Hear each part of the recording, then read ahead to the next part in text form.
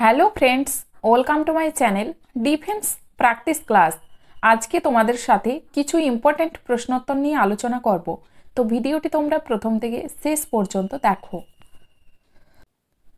First প্রশ্ন দেখো, তৃতীয় পানিপথের যুদ্ধ কাদের মধ্যে হয়েছিল? তৃতীয় পানিপথের যুদ্ধ হয়েছিল কাদের মধ্যে? মারাঠা ও আফগান। পরের প্রশ্ন শের শাহের সেনাপতি কে ছিলেন? শের শাহের সেনাপতি। সেনাপতি কে ছিলেন? শের শাহের ব্রহ্মজিৎ গৌড়। পরের প্রশ্ন, বঙ্কিমচন্দ্রের আনন্দমঠ উপন্যাস কোন বিদ্রোহের পটভূমিকায় রচিত? আনন্দমঠ উপন্যাসটি কোন বিদ্রোহের পটভূমিকায় রচিত? সন্ন্যাসী বিদ্রোহ। পরের প্রশ্ন নীলদর্পণ কে ইংরেজিতে অনুবাদ করেন? নীলদর্পণ ইংরেজিতে কে অনুবাদ করেন? মধুসূদন দত্ত। পরের প্রশ্ন, কলিঙ্গরাজ খরবেলের কীর্তি কোন শিলালিপিতে বর্ণিত হয়েছে? কলিঙ্গরাজ খরবেলের কীর্তি কোন শিলালিপিতে বর্ণিত হয়েছে? হাতি গুম্ফা লিপি। সত্যমেব জয়তে কথাটি কোন গ্রন্থ থেকে নেওয়া হয়েছে? সত্যমেব জয়তে। এটি নেওয়া হয়েছে মুন্ডক উপনিষদ থেকে। নেক্সট প্রশ্ন, ভারতের কোন যুদ্ধে প্রথম কামানের ব্যবহার হয়?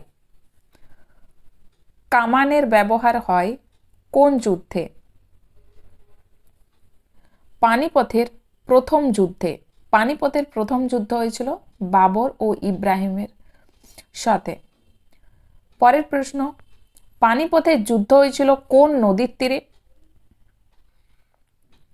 কোন নদীর তীরে হয়েছিল? যমুনা নদীর তীরে। নেক্সট প্রশ্ন মোগল সম্রাট আকবরের পিতামহ কে ছিলেন? পিতামহ কে ছিলেন? মোগল সম্রাট আকবরের বাবর। পরের প্রশ্ন, নীল বিদ্রোহের কোন নেতাকে বাংলার নানা সাহেব বলা হয়? বাংলার নানা সাহেব বলা হয় কোন নেতাকে?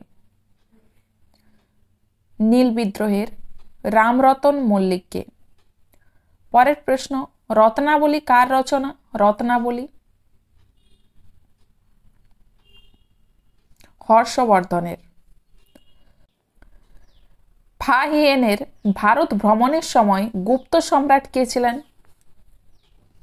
ফাহিয়েনের ভারত ভ্রমণের সময় গুপ্ত সম্রাট।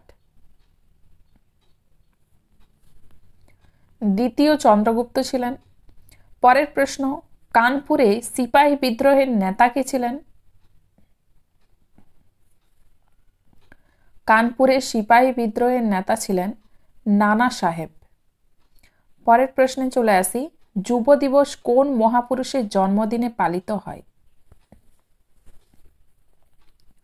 যুব দিবস। এটা আমরা সবাই জানি, স্বামী বিবেকানন্দর। পরের প্রশ্ন, পলাশির যুদ্ধের পর কে বাংলার নবাব হয়? ড্যাশকে বাংলার নবাব করা হয়, পলাশির যুদ্ধের পর।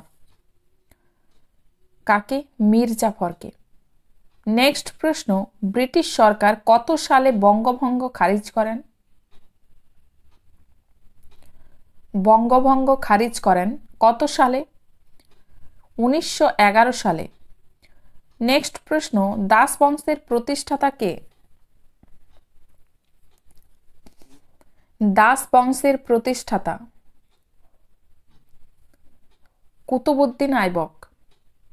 পরের প্রশ্নে চলে আসি। দিল্লির সুলতানের শেষ শাসক কে ছিলেন? দিল্লির সুলতানের শেষ শাসক। কে ছিলেন? ইব্রাহিম লোদি ছিলেন। পরের প্রশ্ন, কোন সুলতানকে সুলতানি যুগের আকবর বলা হয়? কোন সুলতানকে সুলতানি যুগের আকবর বলা হয়?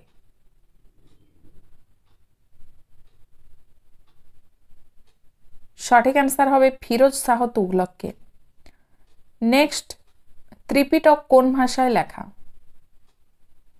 কোন ভাষায় লেখা ত্রিপিটক? সঠিক অ্যান্সার হবে পালি ভাষায় লেখা ত্রিপিটক।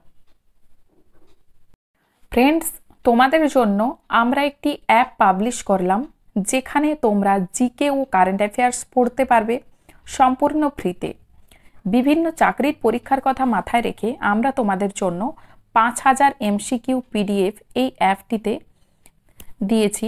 এখানে তোমরা পড়তে পারবে। ডেলি আপডেট দেওয়া হবে এখানে। তোমরা অ্যাপটি ইনস্টল করে রাখতে পারো সম্পূর্ণ ফ্রিতে। ডেসক্রিপশনের লিংক দেওয়া আছে। সেখানে গিয়ে তোমরা অ্যাপটি ইনস্টল করে নেবে।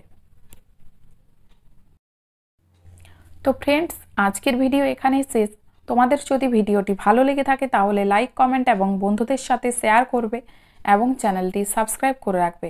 নেক্সট ভিডিও নিয়ে আবার চলে আসব।